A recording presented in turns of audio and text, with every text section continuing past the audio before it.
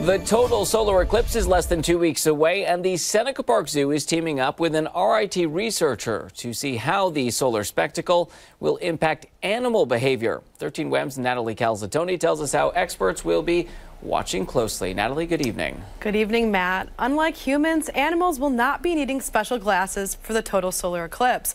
But experts from the zoo and RIT believe certain animals will behave differently on April 8th.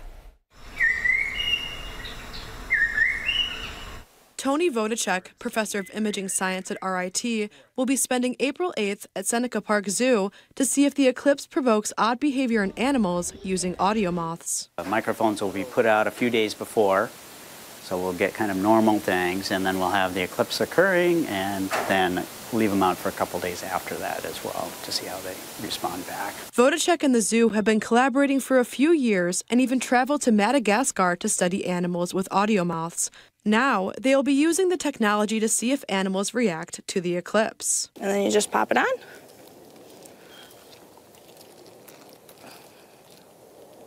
And it's recording. According to David Hamilton, general curator at Seneca Park Zoo, certain animals will react more than others. They don't have a watch like, like we do, so they just think it's evening time and they're getting ready for, for bed and doing those sorts of behaviors. Maybe some of them will call, some of them will um, maybe start heading towards their, their holding areas for the night.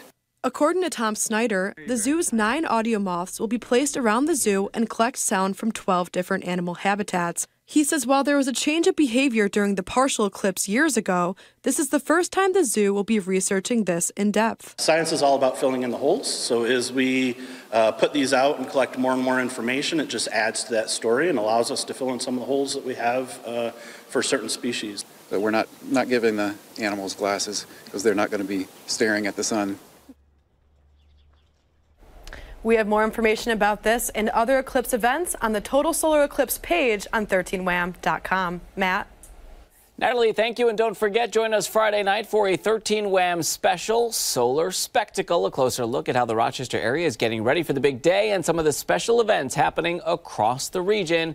That special airs Friday night at 7:30 right here on 13 Wham ABC.